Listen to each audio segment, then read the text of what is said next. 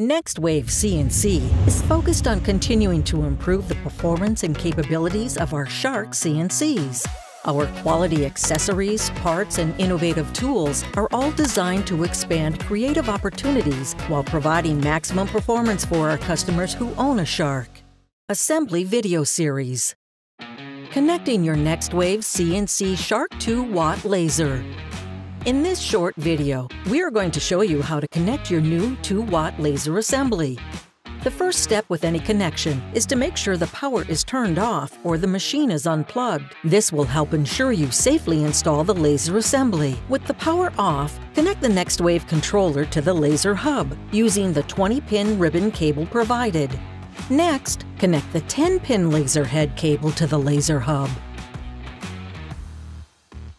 Finally, connect the 12-volt AC-DC power supply to the laser hub and the installation is complete. Remember, to keep your unit operating safely and efficiently, be sure to take proper steps in caring for your laser module.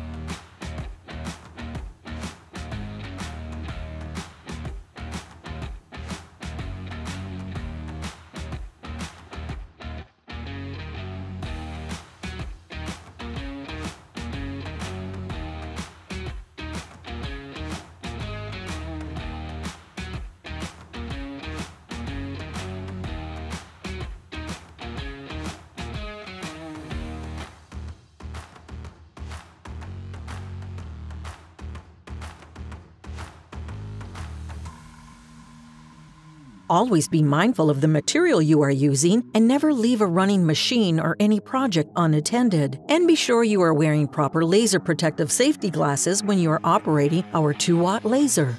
Alder, cherry, and mahogany are among the best woods to use the laser module, and the laser collar should always be 0.100 inches above the material.